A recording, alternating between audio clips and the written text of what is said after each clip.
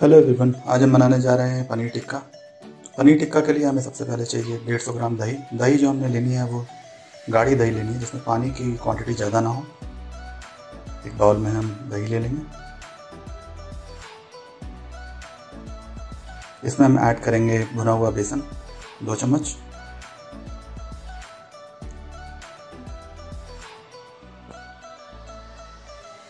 लाल मिर्च पाउडर, आधा चम्मच।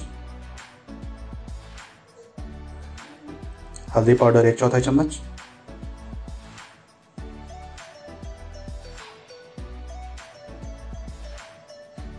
नमक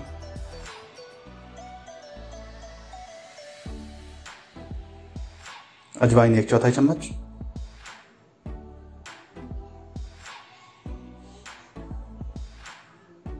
सरसों का तेल दो चम्मच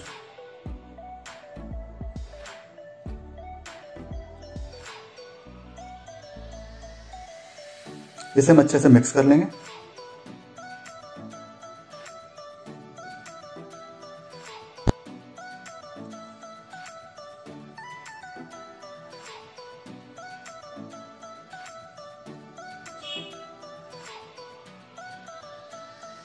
इसमें हम ऐड करेंगे प्याज और शिमला मिर्च।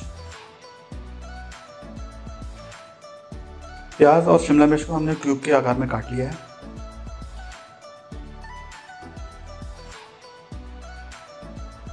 इसमें हम ऐड करेंगे पनीर। और इसे अच्छे से मिक्स कर लेंगे।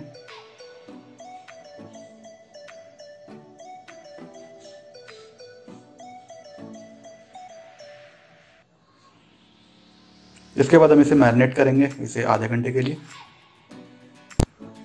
मैरिनेशन के बाद हम पनीर, प्याज और शिमला मिर्च को स्क्यूअर पर लगा देंगे। इसे हमें स्कीवर पे इस तरह से लगाना है कि सबसे पहले जैसे शिमला मिर्च, फिर प्याज, फिर पनीर, और इसी सीक्वेंस में हमें इस पर लगाना है।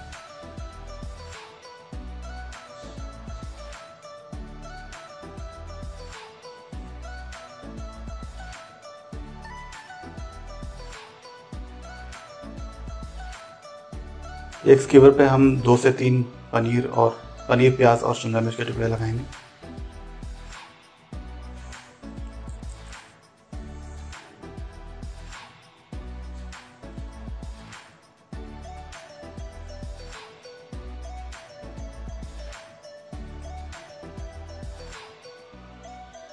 इसी तरह हम दूसरे स्कीवर पर भी इसे लगा लेंगे।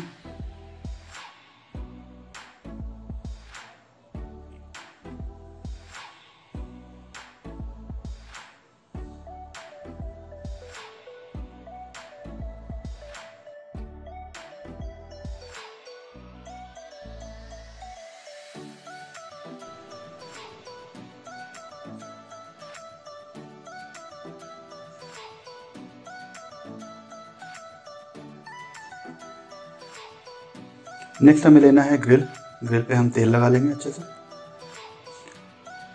इलेक्ट्रिक ग्रिल की जगह पे आप तवे का भी इस्तेमाल कर सकते हैं या फिर ग्रिल पैन का यूज़ कर सकते हैं.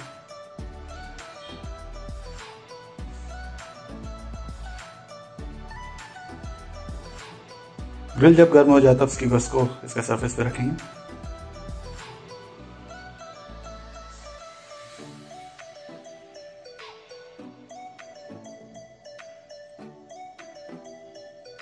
जैसे ही एक साइड हो जाए, हमें इसे दूसरी तरफ़ से पलट देना है, जिससे कि हमारे पनीर जले ना।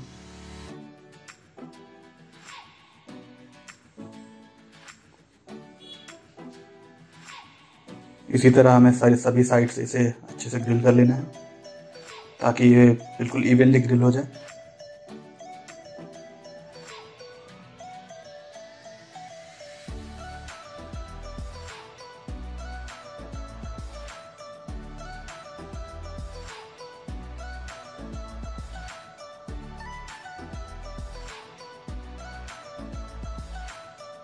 तो इसे हमें टोटल 10 से 12 मिनट साइड चेंज करके पकाना है।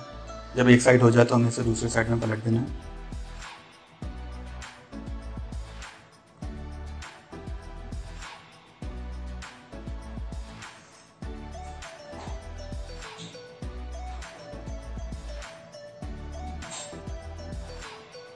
जैसा कि आप देख सकते हैं, पनीर टिक्का लगभग रेडी है।